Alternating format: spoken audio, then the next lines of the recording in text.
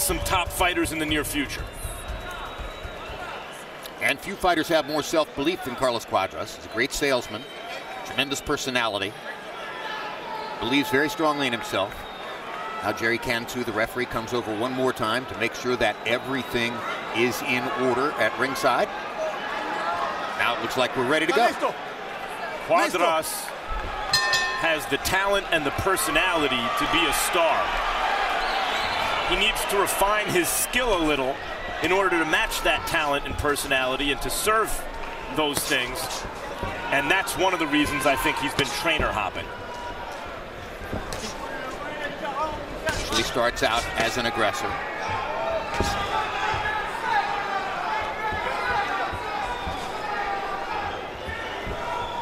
Arroyo trying to start out with a tight envelope. Straight punches. Will go side to side a little more, throw wider shots, throw a greater variety of punches. We'll see which technique works better.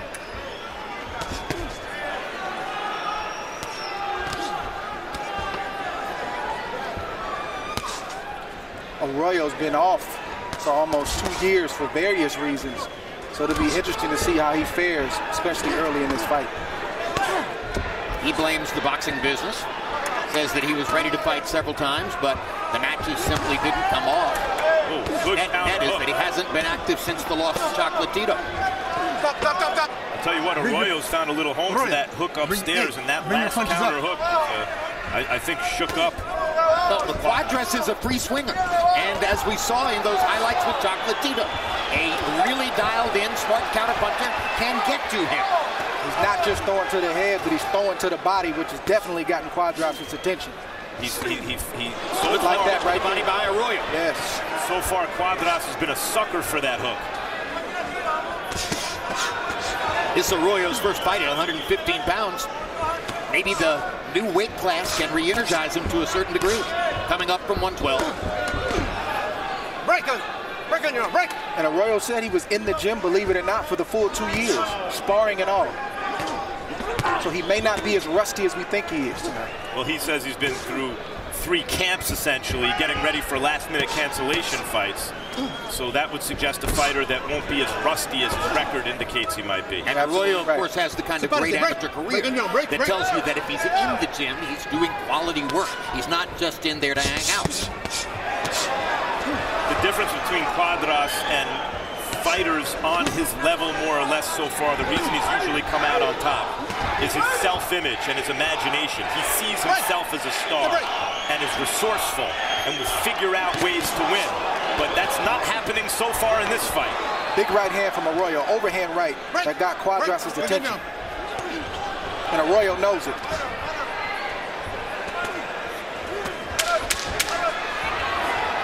Stop, stop, stop, Second half of this round has looked very good for McWilliams Arroyo.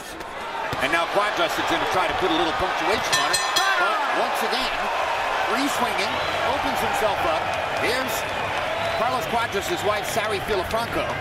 And that is a mixed review, basically, as you can see on her face. And our producer, looking at her through the entire round from his vantage point in the truck, said she was not happy with what she saw in the first round. Well, her husband lost the first round and was shaken up at least once, maybe twice. Remember what I said? Get your, get your distance and get your angles, okay? Abel Sanchez is coming off a tremendous victory just a month ago in the cruiserweight division. His fighter Murat Gassiev won what is so far the fight of the year for sure against the Cuban Dorticos in a great fight. Great action fight.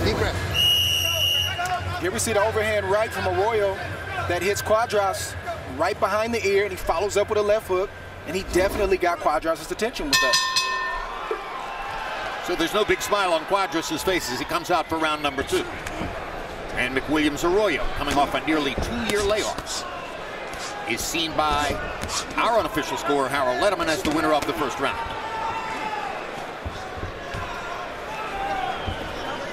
Well, Arroyo's got a lot at stake in this fight. He's considered the B-side. He's considered the opponent here.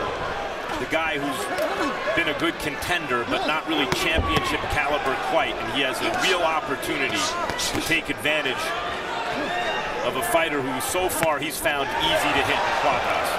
Given that Sor Rungvisai and Estrada are in the other fight, I wonder I tend to wonder whether Cuadras' attention was entirely on McWilliams Arroyo coming into tonight.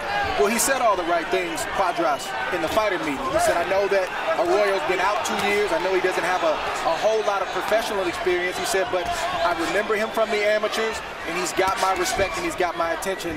But Arroyo is showing good for himself right now, especially with that two-year layoff. Bad news for Cuadras, Andre, is now Arroyo's found a home for the right hand as well. He's really been able to nail Cuadras upstairs with both hands. And I like what I'm seeing from Arroyo because he looks like he's coming here with a plan.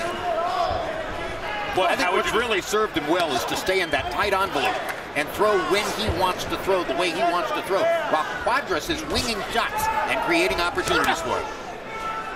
Yeah, and that's always been Cuadras' issue is his technique is not quite up to par with his talent.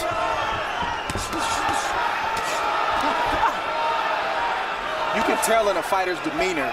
You can look at his facial expression. You can look at his body language and tell if he's here for a check, if the moment is too big for him, uh, or if he's here with a plan, like I just said, and he's determined to win. And I see that in Arroyo. I see a guy who comes in here, who has come in here with a plan, even when he gets hit, he doesn't panic, and he fires right back.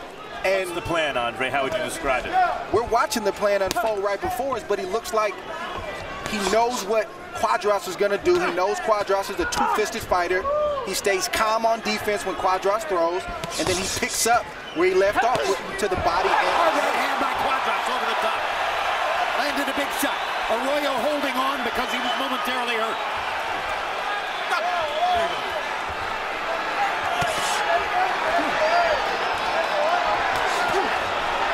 Was awake already, and now they're even more so. And now we'll see from Arroyo, Jim.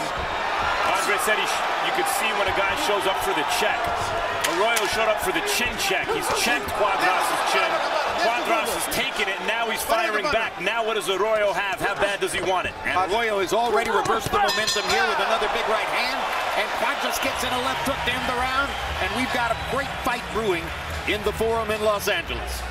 Next Saturday, it's an intriguing light heavyweight doubleheader with big potential ramifications. First, hard-charging Dmitry Bivol attempts to show he's tops in the division against Sullivan Barrera. Then Sergey Kovalev aims to show he's still the crusher against Igor Mikhalkin. April 28 brings middleweight Daniel, J Daniel Jacobs back to his roots in Brooklyn, New York to face Maciej Sulecki of Poland. Also that night, undefeated heavyweight Jarrell Big Baby Miller, also from Brooklyn, faces Frenchman Johann Duhaupas.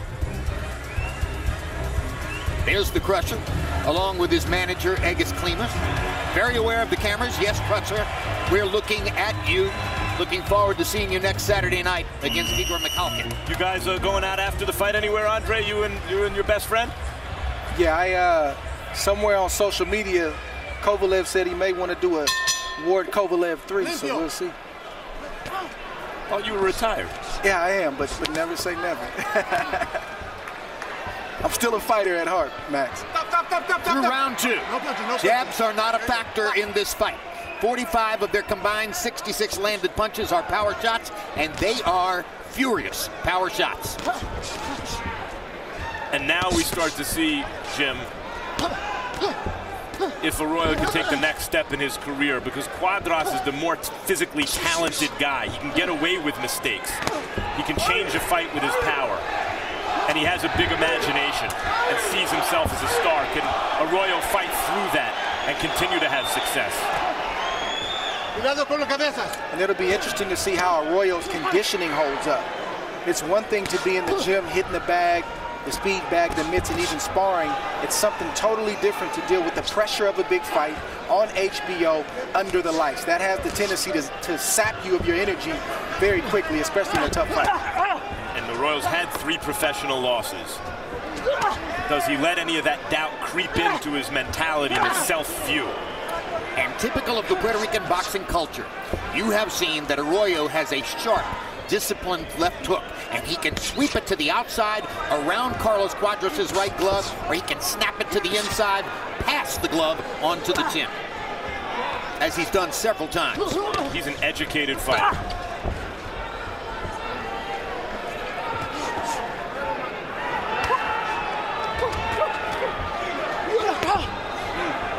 For McWilliams Arroyo. Cuadras is lost to Estrada. Oh, hard right hand by Cuadras. Cuadras is lost to Estrada. Estrada is the quality fighter that weathered the early storm and stuck with the game plan and saw himself as the winner and eventually won a close, tough fight. And is now fighting in the main event tonight against the top dog in the division, and, and the style difference was very similar to what you're seeing here because Estrada was more the classic technique. Hands were a little bit quieter, didn't have as much flash as Cuadras, but over the long haul in the fight, that technique served him very well. Whoa, Roy Quad looked off yeah. that right hand really well. Cuadras landed a big overhand right to the to the chin of Arroyo, and he's looking for that same shot here in round three, and he's just missed it on two or three occasions.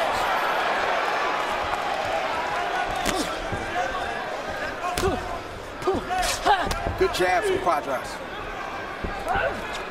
Stop, stop, stop, stop, stop. There you go, there you go. 10 seconds, stop at the bell.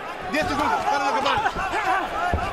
But more often than he might want, when Cuadras show, throws these big winging shots, his hands wind up in places where he has no defense when Arroyo prepares to counter.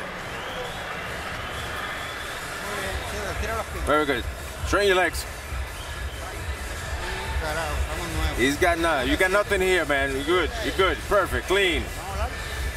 Hey, eh? let's talk. Okay. You know what I want? I want you to use that jab. If you use that jab, that bastard is not going to come in. Throw combinations and bend your torso, bend your waist, all right? Throw the shot, bring it in, and you're not flexing. So then he throws and he catches you. And the right, huh? And use those legs. Use those legs so you can move and set all the punches, all right? That's what they're for. Deep breath. Very good, very good. Just be more effective. You're gonna burn him. Carlos Cuadras listening to Abel Sanchez for the first time in his career, hoping to get the kind of corner advice that can turn the fight in his favor tonight. All right, we begin the fourth round. Let's go to our unofficial ringside scorer, Harold Lederman. Harold, how do you have the first three? Okay, Jim, I got a two to one, 29, 28, Carlos Cuadras. You know, Jim, I, th I that McWilliams Arroyo hurt him, uh, punched him in the first round. I thought McWilliams Arroyo won the first round. But in the second round, with about 30 seconds to go, I thought McWilliams Arroyo was badly hurt from a Cuadras right hand. And I think he landed that same right hand with about a minute to go in round three. So I got it two rounds to one, 29 28.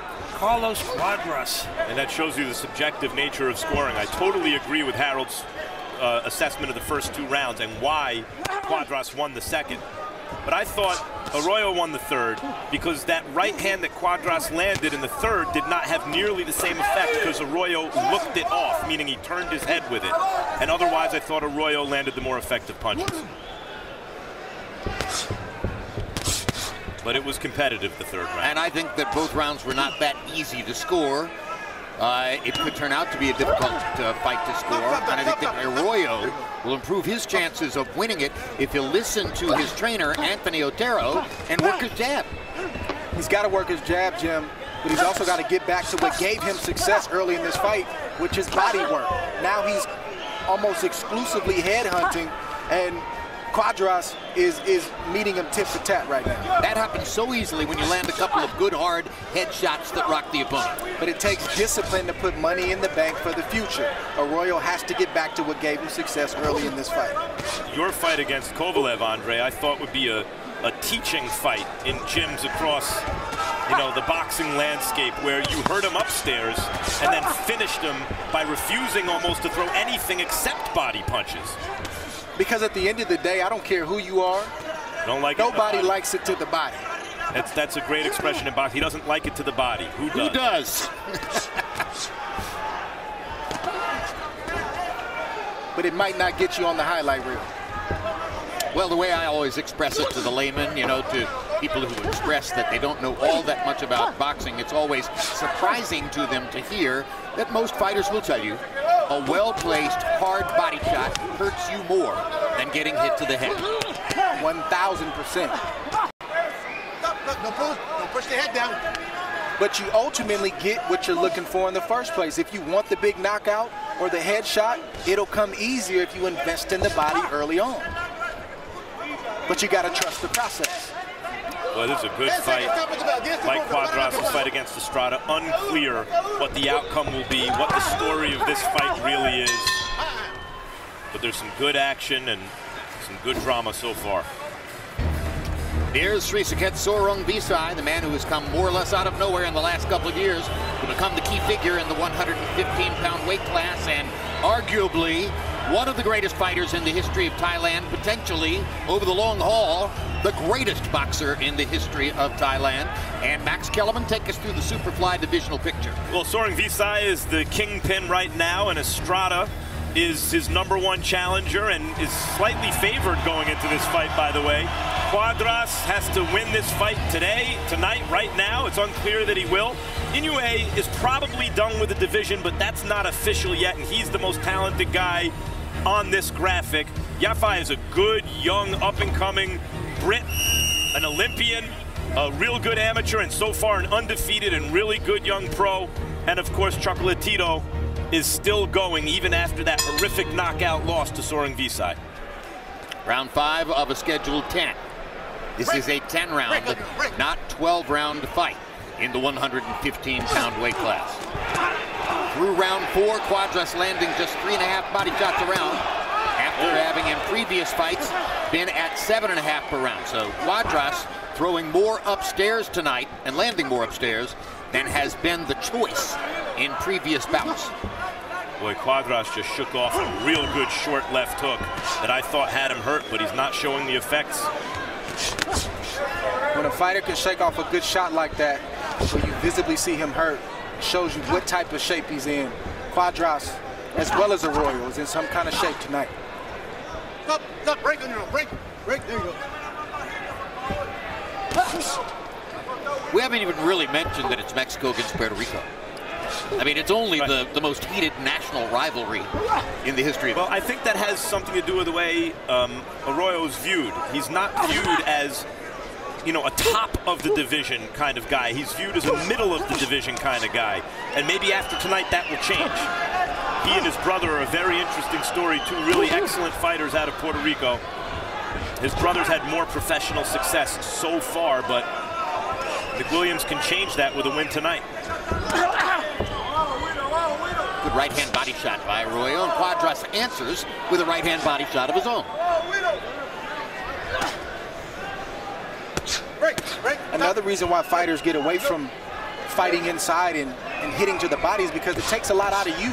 The guy who's good left hook from Cuadras. It takes a lot out of you to be in the trenches, tussling, grappling, and then getting shots in between all of that. That's why a lot of guys will will choose to stay outside and maybe pick and poke and try to box instead of being inside because it's not just hard for the guy that's taking the shots, but also for the one that's delivering them.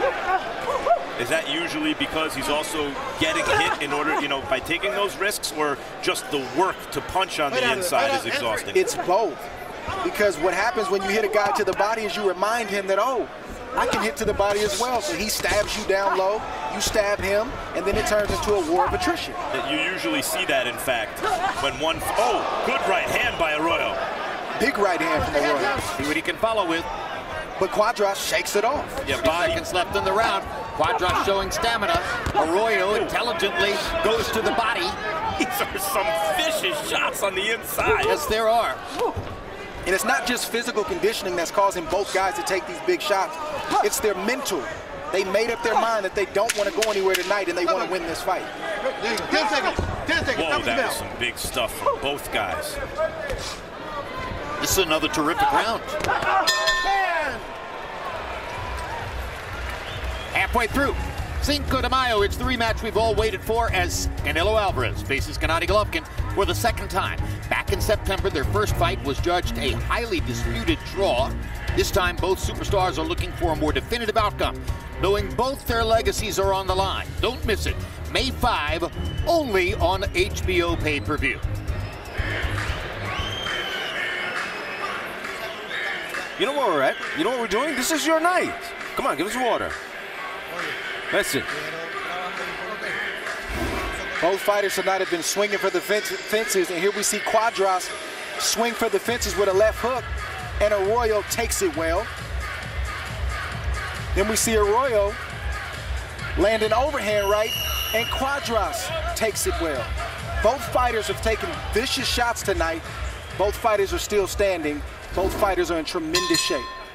We've talked about body punching and the importance of using those opportunities when they're there. When a guy throws as freely as Carlos Cuadras does, and he wing shots, he lifts his elbow up away from his body and gives the opponent chances, if they want to look for them, to sneak in under the arms, into the rib cage, where you can really test the opponent's will to continue going in the fight. Through round five, Arroyo stepping it up tonight, throwing 73 punches per round after having averaged 50 a round in his last three fights. Of course, he's had plenty of time to build up the energy. A nearly two-year layoff since the loss to Chocolatito.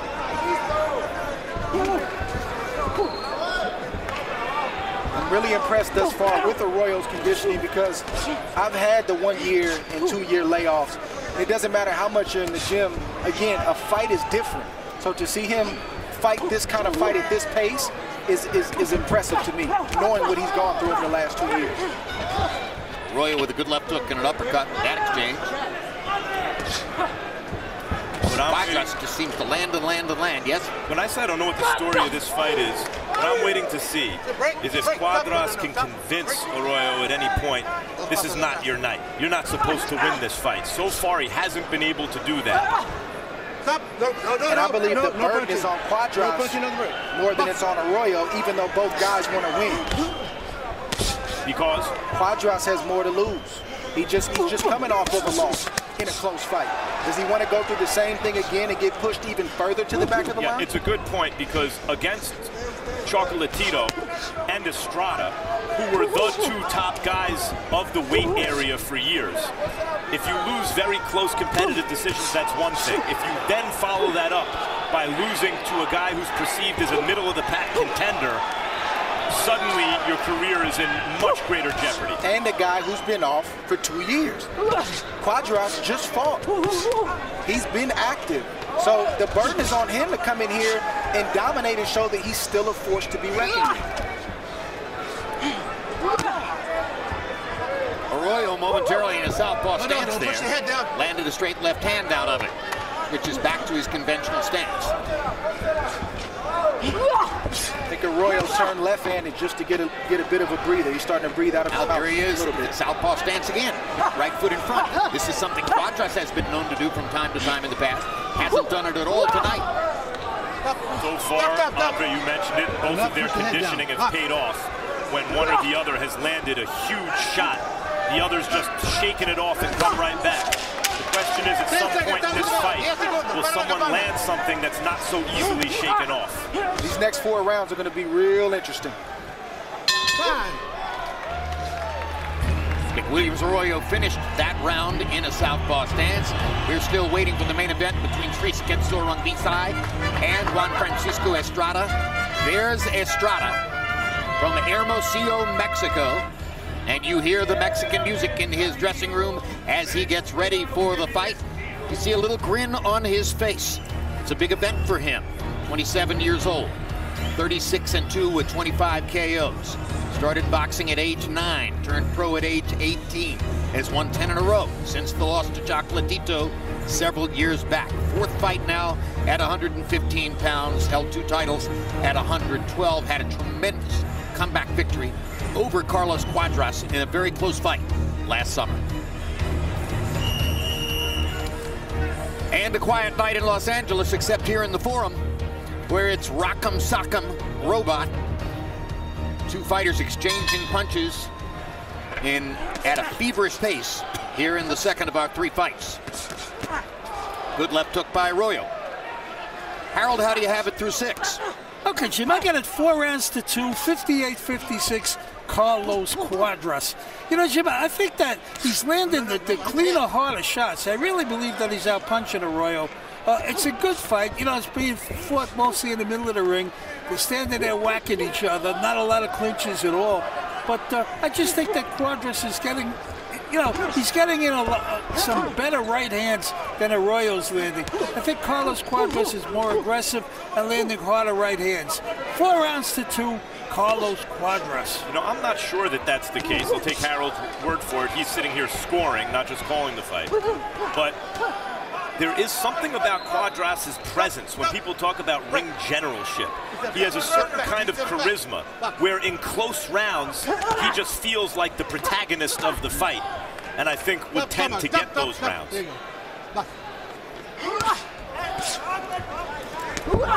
Because I don't know that he's landing the better punches here.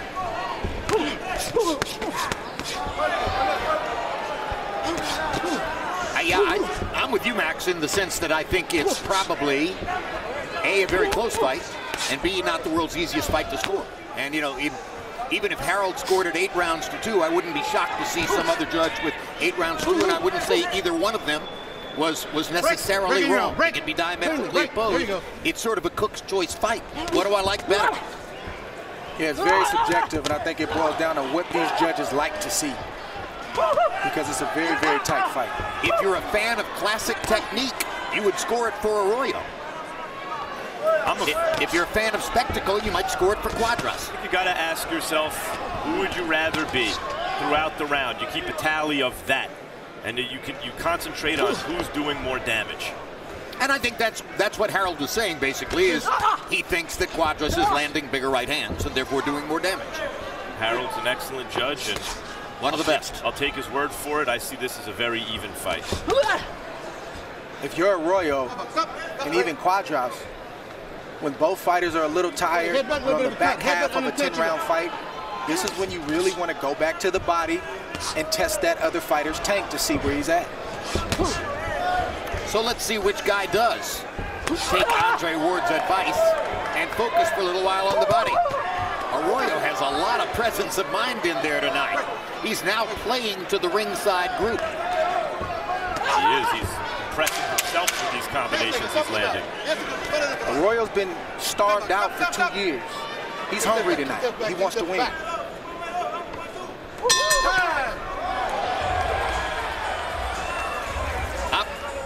Over the right eye of McWilliams Arroyo. Little trickle of blood coming down the side of his face, and they'll go to work in his corner. Where the cut man is the trainer, Anthony Otero. You got to take care of that guard. You got to bring it up.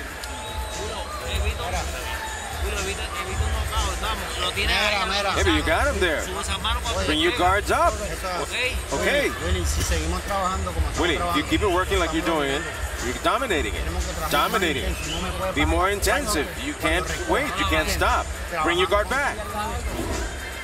In the midst of a battle, it's a lot of little things that can happen that you can miss, like that right hand from Arroyo that definitely got the attention of Cuadras as you see his legs do a funny dance. And Arroyo saw it too. I asked McWilliams Arroyo how the after effects of Hurricane Maria may have affected his training in Puerto Rico coming into the fight, and he said, everyone in Puerto Rico is struggling, but my training camp was excellent and worked very well. The only difference was I didn't drink as much water as has been the case in the past because no one in Puerto Rico can afford to in any way waste oh. water at this moment. Guys, I mean, it's hot. Cuadras just took some crisp, hard shots upstairs. Looked like he could be on his way down. And somehow shook it off and countered it with a big left hand that let Arroyo know I still could take you out of there.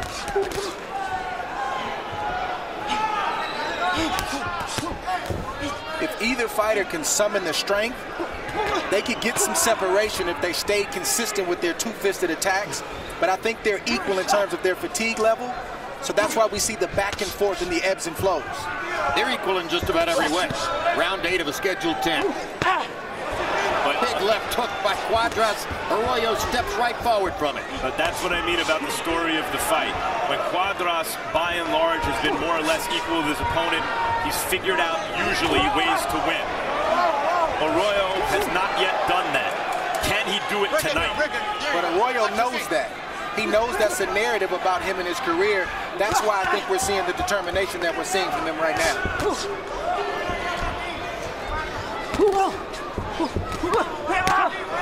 Would not want to be a judge in this fight.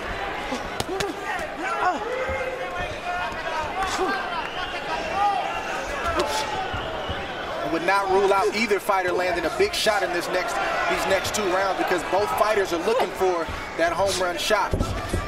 Cuadras, the left hook, and Arroyo, the left hook. Neither fighter has ever scored a knockout past round eight. So the odds are we're going to the finish here. Although with two fatigued fighters who've been worn down by each other's hard shots and who break are it, winning break, hard, break. one of them could change that tonight, although they've been concentrating more upstairs than down. In 44 seconds, there will be six minutes to go, and a lot of action could be packed into those six minutes. This fight is on the table, or so it would seem. Andre, is it too late for one of them to start concentrating on the body to soften the other up? Have they not put in enough work down there so far to make a difference? It's never too late to go to the body because one good shot placed in the right spot can, can end the fight, fight over. Southpaw stance again for McWilliams Arroyo. Is he doing that, Andre, just to give Cuadras a slightly different look? I think he is. Initially, I thought he was trying to rest, but he seems to be effective when he turns left hand. Six minutes to go. Good, tough fight. April 18th, the Fight Game premieres our first show of 2018. Join me, along with Max Kellerman and Bernard Hopkins, as we tackle some of the biggest stories in boxing. And by the way, Andre Ward made two brilliant appearances on our December TFG shows.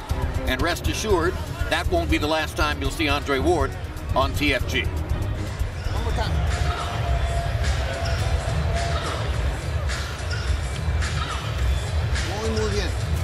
Very well, very well. Willie, I need to work. Need to work. Work the jab. And that left is also good, all right? Does the same purpose. But you got to be explosive with it. Explosive and careful when you come out.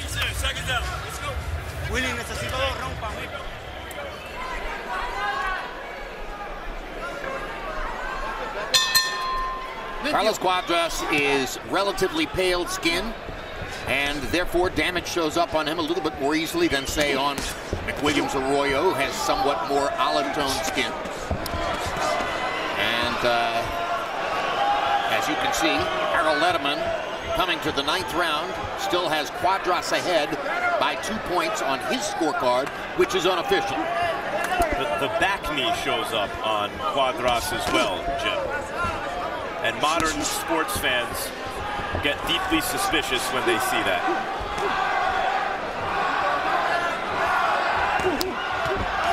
Well, we, have never seen Carlos Cuadras without the back knee. And boxing drug testing is, of course, making big strides within the past few years.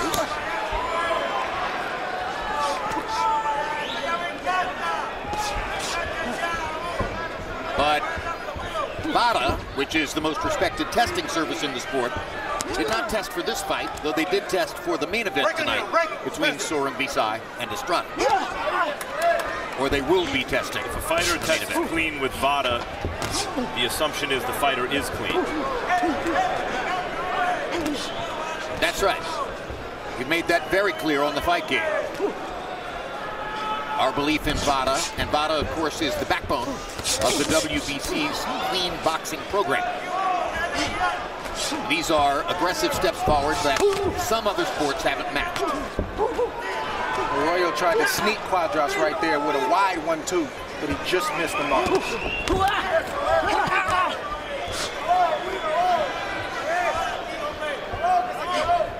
Round nine looks a lot like its predecessors.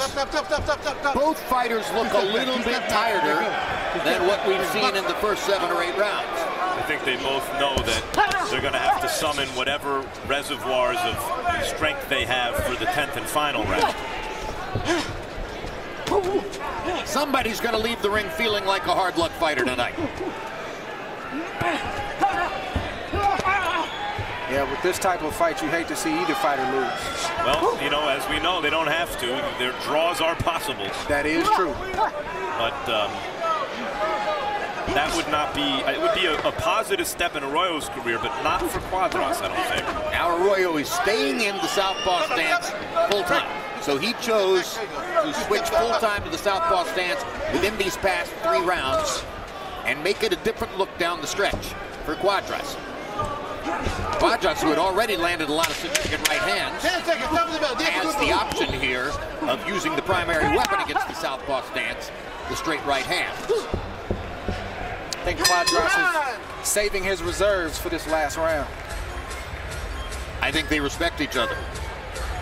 We saw Arroyo slapping Cuadras on the butt with his glove as he walked past. It's very tight. Very tight. We need this round. We need this round big. Throw punches. Throw punches and move your leg. Don't stretch with those punches. Move your legs and get in. Get close. Hey, you got to work that jab. That jab is the basis. Come on, can you do three minutes? Okay.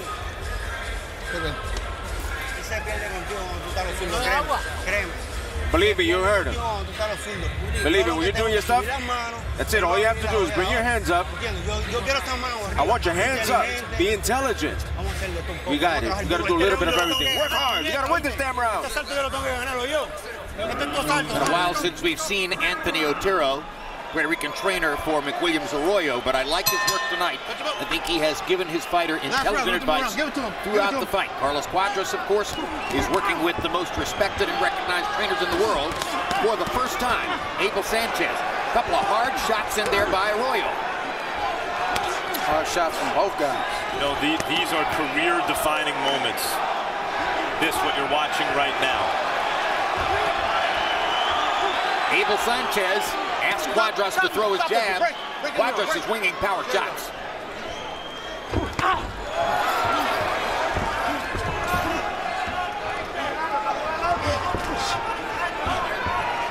There's the jab.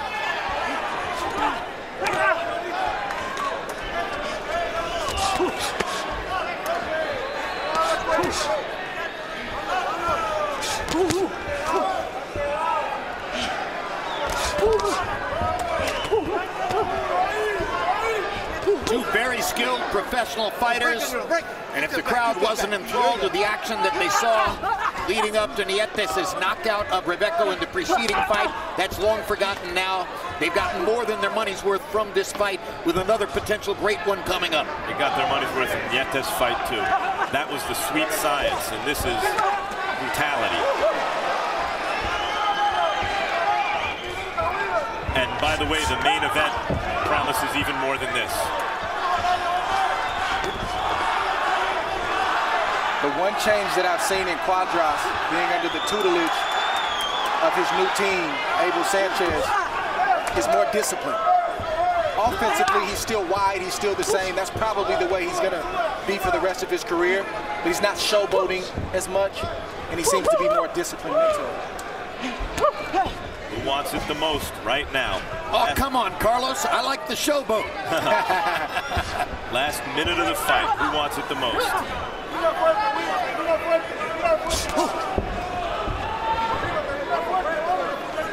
Can Arroyo be more than just a good contender? And can Cuadras regain championship form? Just a little grin on McWilliams Arroyo's face. Not necessarily to say that he's enjoying himself, but that he knows he's in a meaningful fight. And he's waited a long time for that. From Arroyo to the Cuadras. And then got out of there so Cuadras couldn't counter. Abel Sanchez said that Cuadras needed this round. The CompuBox numbers between the two of them in this round are almost dead even as they get ready for the last 15 seconds. But I see Arroyo outboxing Cuadras. It's a tight fight. It's a tight fight, no matter how you how you slice it, it's tight. Well, as I said, Max, if you like technique, you might score for ah, Arroyo. If you like spectacle, you might score for Cuadras. There was plenty to appreciate from both fighters in the fight. Final CompuBox numbers in the 10th round, however, showed Cuadras landing 10 out of 70, and Arroyo, who got in a little rally down the stretch, landed 18 out of 65. I thought Arroyo outboxed It's certainly in the 10th round, if not throughout the fight. Well, that's only the 10th round that we're talking about. Now, Harold Lederman had it. A two-point lead for Cuadras after eight rounds. Harold, where do you wind up after 10? Okay, Chip. I got it 95, 95 there you have it. rounds apiece. I got it a draw. I thought that uh, McWilliams Arroyo won the last two rounds. I just boxed him. You know, landed a few more punches, a little bit more aggressive. I thought he won the last two rounds. I got it a draw. I think it's a very even fight. All right, Harold, who are the official judges who have to make a very tough decision? Okay, Jim.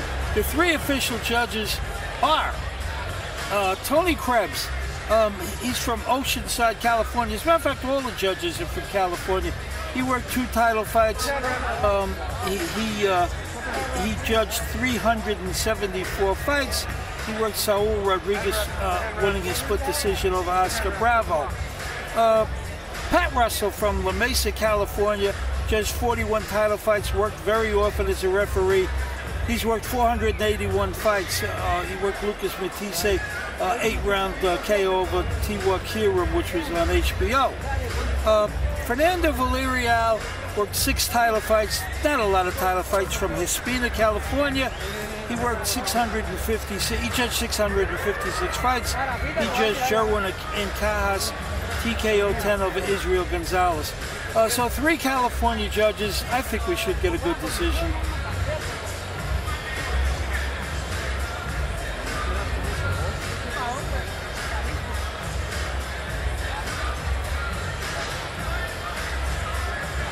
Now as we wait for the very great Michael Buffer to perform capably as always, you will remember, boxing fans, that last summer after a brilliant fight and a very close competition between Carlos Cuadras and Juan Francisco Estrada, Michael had one momentary glitch and wound up basically announcing both fighters as the winner before he straightened it out.